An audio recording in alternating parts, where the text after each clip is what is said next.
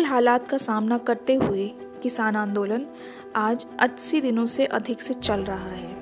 इस दौरान इस आंदोलन को बहुत तरह से बदनाम और परेशान करने की कोशिशें हुई हैं। इनके बावजूद अब तक किसान अपनी मांगों पर डटे हुए हैं। इस आंदोलन की सफलता में एक बहुत बड़ा योगदान यहाँ के वॉल्टियर्स का भी है। न्यूज़ क्लिक ने सिंगू बॉर्डर पर मौजूद कुछ ऐसे ही वॉल्टियर्स से बात की और उनसे जानने की कोशिश की कि वे क्यों इस आंदोलन से इतनी गहराई से जुड़े हुए हैं ਅਸੀਂ ਸਟੂਡੈਂਟ ਆ ਤਾਂ ਇਹ ਜੋ ਸੰਘਰਸ਼ ਹੈ ਜੋ एक पढ़े लिखे लोगों ने ये इस पर शिरकत की है।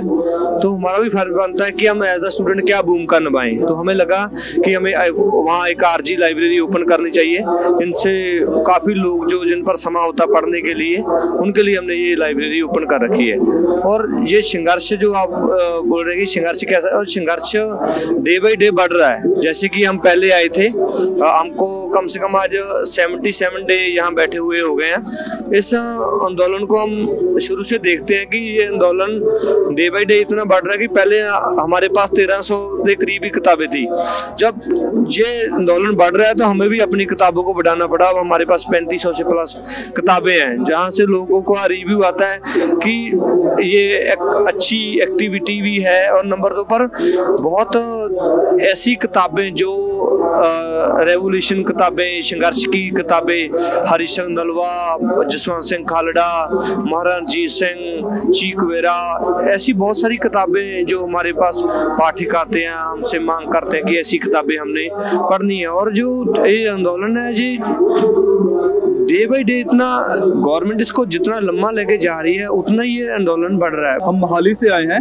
मोहाली जपजी डेंटल क्लिनिक से मैं आया हूँ। ये जो डेंटल एंबुलेंस आप देख रहे हैं डॉक्टर एस एस आलू वाले जी इसके इंचार्ज हैं, मैं उनके साथ प्रैक्टिस करता हूँ। तो हमारी टीम यहाँ पे 26 नवंबर को आ चुकी थी, जब आंदोलन स्टार्ट हुआ और तब से हम यहाँ निष्काम सेवा कर रहे हैं। तो इस आंदोलन का सबसे मेन हमको पता होना चाहिए कि आंदोलन चल क्या रहा है। यहाँ ये किसानों का आंदोलन है।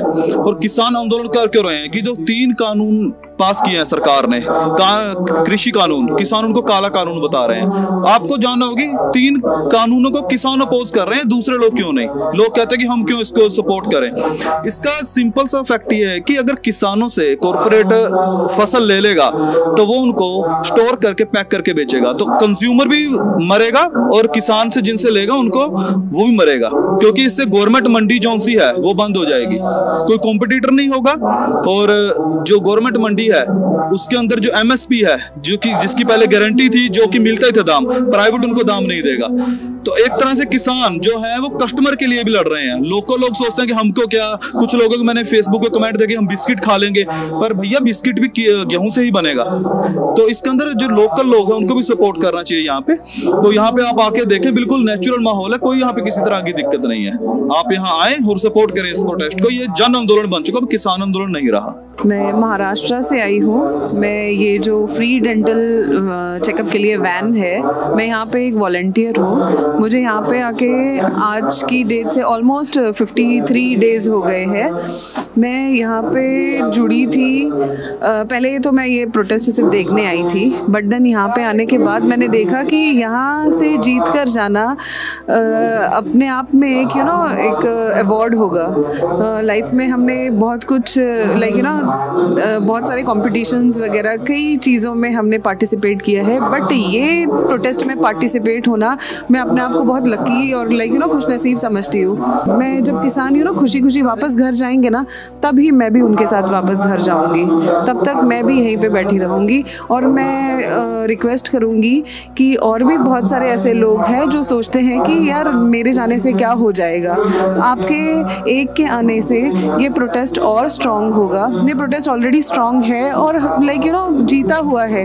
बट आई थिंक आप भी आगे आओगे तो फ्यूचर में आपको शायद बहुत अच्छा फील होगा कि हमने ये प्रोटेस्ट में अपना पार्टिसिपेशन दिया था।